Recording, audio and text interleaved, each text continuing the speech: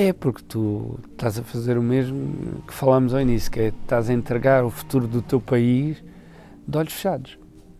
De olhos fechados, porque não estás a receber mensagem, não chega a ti. Aliás, se perguntar nesta sala, que tem pouca gente, quem é que tem real interesse por política e que acompanha, vai ser muito baixa a porcentagem.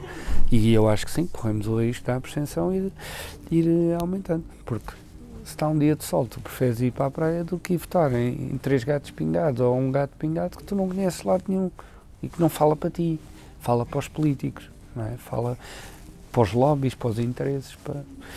Eu, eu acho que sim, que é um risco enorme e tu não vês quer fomentarem esse interesse.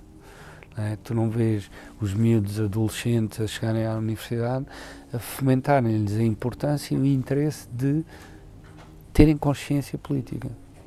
É?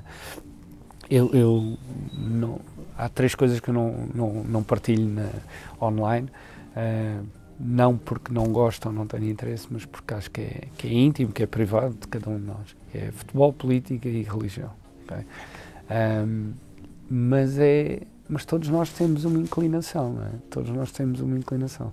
E essa inclinação não é por feeling, é porque tu acreditas em determinados valores, numa sociedade mais assim ou mais assado, mas se não tiveres consciência política, tu não vais acreditar em nada.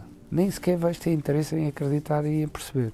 E eu acho que isso não é fomentado, nem online, nem offline, nem em lado nenhum.